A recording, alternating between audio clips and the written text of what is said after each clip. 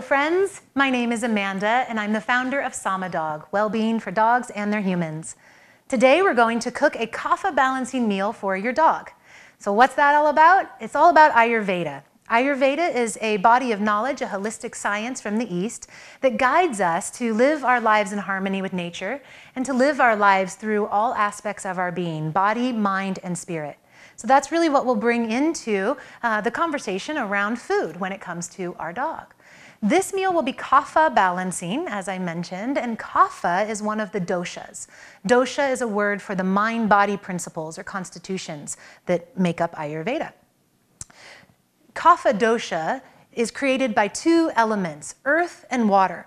So when earth and water come together, they create kapha. And what is kapha? Is that heaviness. It can be a little slow, it's very stable, it's grounded, not too quick to move. When out of balance, for in our dog's case, it can get lethargic, um, withdrawn, weight gain, slow digestion, and um, just a, a lack of lust for life. So you'll see that a meal like this that's very light and healthy for Kapha dogs to help them lighten their body and mind um, will really pay off and you'll notice a big difference in your dogs. So let's get started. So here we have a foundation of um, grain-free kibble, so you can start with any high-quality kibble if you'd like. Then we just add in, I'm a big proponent of adding in fruits and vegetables to dog food. So we have here some red cabbage, some green beans, some Brussels sprouts, and some celery. Celery especially, so good for the fiber um, that it delivers to dogs, but of course all these vegetables, great for dogs and great for kapha because they're light and invigorating in their nature, these vegetables. These have been cooked in a little bit of sesame oil, also another light oil, great for kapha dosha balancing. We will add in a little bit of digestive enzyme. So this is uh, called solid gold, and it uh, contains seaweed, flaxseed, and digestive enzymes. So this will help with the kapha um, digestion that sometimes is quite sluggish and um, a little bit hard to get going. So that will help a lot. And we'll add in a bit of meat. This is some turkey, just some ground turkey with veggies. This is for dogs, so it has bones in there. You can get this at your local pet store, all kinds of nutrients in there.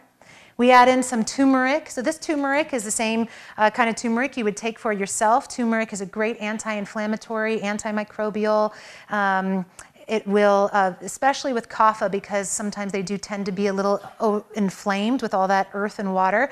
So just be sure, anytime you're using turmeric, to have a little bit of black pepper in there as well because that will help with the absorption. So what I'll do for a 30 pound dog is add about a half of a capsule of turmeric. And then adding in some apple cider vinegar. So this is just, you know, any organic apple cider vinegar.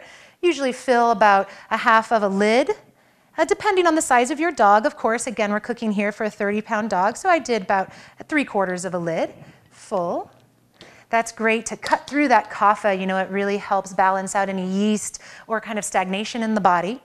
And then last but not least, the Honest Kitchen. So this is just a little bit of Honest Kitchen. Honest Kitchen is a great uh, formulation of a dehydrated food that is reconstituted with a little bit of warm water. So this is a much easier way to add the nutrients, the phytonutrients into your dog's meal if you're not necessarily into cooking. I've added a lot of things in here. You can choose just a couple. Please don't think that you have to go hog wild with all these ingredients with your dog now. You can just add in a few and they will benefit from it greatly. So add some of the mix, stir that together. And here we have a kapha balancing, light and invigorating meal. I realized I forgot one thing, a little cinnamon. Cinnamon spices in general are great for kapha, just as they are for kapha humans because it gets the body moving, it gets the mind light, and it gets the digestion rocking. So uh, just a little bit of cinnamon in there. Dogs typically really like the taste of cinnamon as well. So now we've got this all mixed together for an invigorating, light, healthy meal for your kapha dog. Enjoy.